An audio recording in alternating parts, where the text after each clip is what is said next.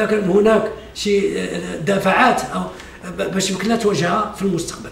بالنسبة لنا بالنسبة لنا النمو تراجع من كنا من 3% في 2018 2.7% في 2019 علاش؟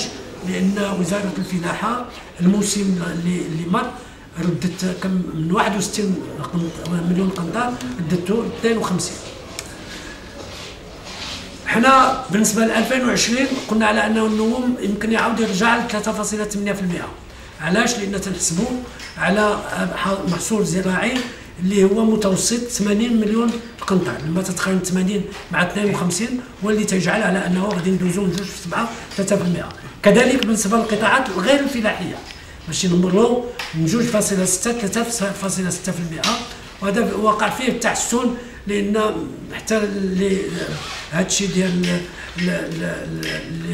الزيادات اللي كانت في الإطار ديال التحول الاجتماعي ولا شك على أنه الطلب غادي يزيد وغادي يكون بعض التحسن بعض القطاعات غير الفلاحية. بالنسبة للحسابات الخارجية الحساب الجاري ديال ميزان الأداءات كان العجز 5 5.5% في 2018 حنا التخمينات ديالنا انه غادي ينزل 5 واحد في في 2019 وينزل بصفة متواتره أكثر في 2020 في 3.8% لما تنحسبوا اش غادي يكون الاحتياطي ديال العملة الصعبة تناخذوا بعين الاعتبار على أنه تقرر على أنه الخزينة غادي تقترض في الخارج جوج الاقتراضات ديال 11 مليار درهم في 2019 في 2020 لما تناخذوها بعين الاعتبار الاحتياطي الخارجي بالنسبة ديال البنك المغرب غادي يبقى تغطي فوق خمسة ديال الشهور ديال الواردات ديال الدولة. فيما يخص القطاع ديال ديال الاقتراض فيما يخص الشروط البنكية. الشروط البنكية نزلت عاود مرة أخرى وصلنا ل 4.98% حسب الإحصاءات الريبورتينغ اللي عطانا اللي عطاونا البنوك. اذا هذا تحسن مستمر منذ بداية 2018 ثم على أنه بالنسبة للقروض القروض بدا واحد النوع ديال الانتعاش ولكن قليل.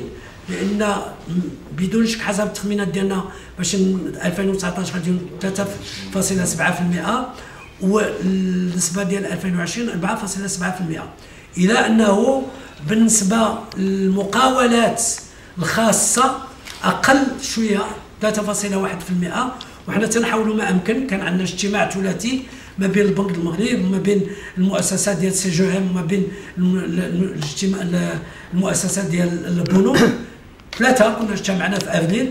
وحاولنا ما أمكن نشوفوا شنو هما القرارات اللي يمكننا ندفعوا بها باش عاود هذا النمو ديال القروض البنكية عاود يسير في واحد الاتجاه اللي هو يناسب الدفع بالاقتصاد وبالنمو ديال البلاد. بعثنا برساله لوزير المالية والان راه الدراسة وكاين بعض الحلول اللي ماشي يمكن نوصلها باش نعاود ندفعوا بالمقاولة من جهة وبالقروض البنكية من جهة أخرى.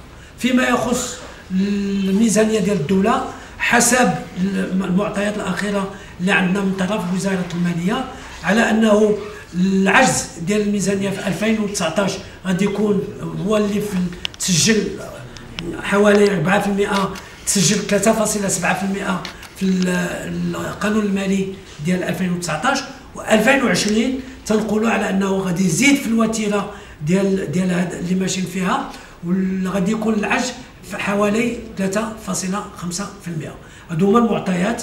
اتفقنا على أنه باش يكون عندنا واحد في ديسمبر إن شاء الله ثلاث شهور أخرى باش نشوفوا كيف الأشياء تطورت. وعلى حسب التطورات اللي كاينة في هذه المعطيات هذه غادي يبان عاود شنو هما القرارات اللي غادي يمكن ياخذ المجلس ديال البنك المركزي. شكرا. شكرا جزيلا شكرا